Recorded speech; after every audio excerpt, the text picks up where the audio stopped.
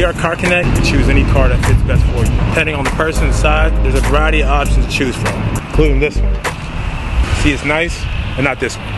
See, this car right here is also nice too, but I have a pass. It's not for me. Those first two cars weren't for me. This one right here, I think it's perfect.